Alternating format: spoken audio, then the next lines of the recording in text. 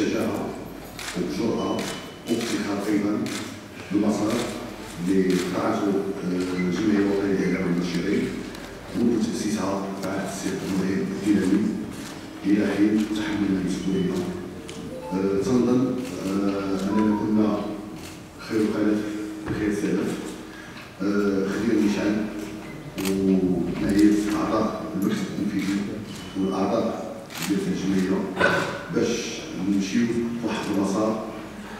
اللي تيهم اولا مستقبل المقاولات الإعلامية المغربيه والصحفيين العاملين في المقاولات الإعلامية.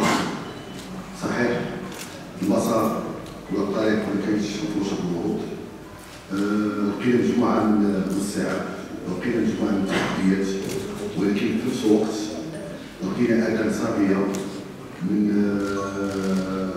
جهات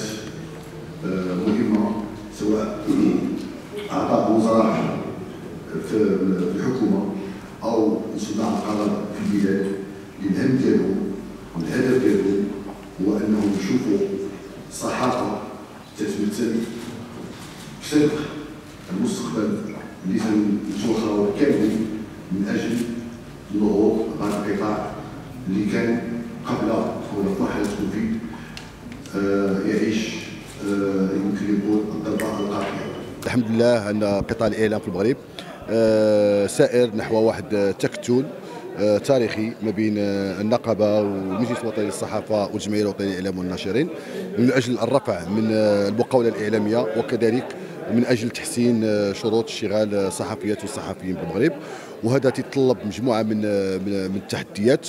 وواعيين بالإكراهات اللي تنتظرنا. ولكن كنا امل إن شاء الله على أننا نتغلبوا على كل الإكراهات من أجل الوصول إلى الهدف المنشود وهو إخراج قانون يتماشى الطموحات ديالنا سواء الرفع من منسوب العمل الصحفي من خلال تطوير المقاولات الإعلامية والرفع من أجور صحفيات وصحفيين وكذلك من خلال التنظيم والضبط الذاتي للمهنة اولا والضبط ديال المهنة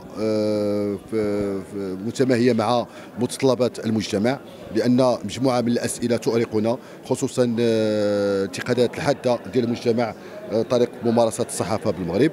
فهدفنا هو تقوية المقاولات الإعلامية والخروج من مأزق ديال تكاثر مجموعة من المنابر الإعلامية والتركيز على المقاولة الإعلامية. فالمقاولة الإعلامية هي القاطرة للرفع من منسوب الممارسة الإعلامية. وهذا الشيء تيتطلب جرأه وشجاعة وتضحية كبيرة.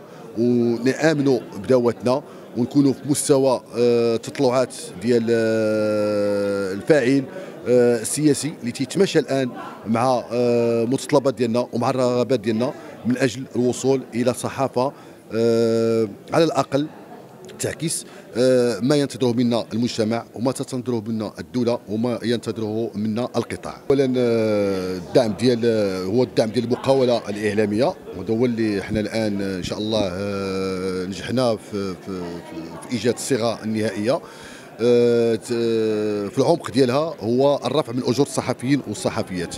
اللي تترجم من خلال اتفاقية الجمعية ومازال إن شاء الله في القريب العاجل اتفاقية الجمعية اللي غتفرض على كل المقاولات الإعلامية. وهنا فاش نهضر أنا على تقوية المقاولة الإعلامية والمقاولة الإعلامية القوية هي المقاولة الإعلامية تتضمن أجر آه مريح. على الأقل آه البداية ديالو ديال 6000 درهم شهريا بالنسبة للمقاولة. آه يكون المقاولة الإعلامية مفروض عليها توفر التغطية الصحية. وتتوفر التأمين وتتوفر لا روتريت ديال ديال ديال ديال ديال, ديال الصحفي. أي مقاولة وتتشغل واحد العدد محدد من الصحفيين. أي مقاولة إعلامية ما تتوفرش على هذه الشروط ولا ما قادراش عجزات تحقق هذه الشروط هذا فبطبيعة الحال ما غاديش تدخل معنا المنظومة ديال ديال ديال المقاولة الإعلامية القوية. الحمد لله لقينا لقينا لقينا اذان صاغيه من طرف آه يعني الوزاره الوصية وكذلك السيد الوزير المنتدب في المالية سي فوزي القجع اللي الهدف ديالهم هو أنهم يشوفوا حتى هما آه إعلام قوي لأن حتى هما تعيشوا إكراهات ديال أنهم عندما تيكونوا في جولات سواء في العالم العربي أو في العالم أو في أو في, أو في, أو في القاره الإفريقية. فتنكون تكون الإعلام الوطني شبه غائب. فلهذا هو اللي خلى على أننا آه، الحمد لله فهموا التحولات وفهموا آه، الإكراهات اللي- تنعيشوا وفهموا أننا المستقبل ديال الإعلام الوطني. وهنا في غادي إن شاء الله آه، الاتفاقيه الثلاثيه اللي غتكون في القريب العاجل من أجل تنظيم حتى التظاهرات آه، الرياضية اللي غتكون سواء مع آه، رئيس اللجنه الاولمبيه أو لا رئيس الجامعة الملكيه المغربية لكرة القدم والوزراء الوصية من أجل إيجاد واحد الصيغة اللي تتماشى من أجل مصلحة القطاع ومصلحة الممارسه الصحفيه ومصلحة المقاوله الإعلامية.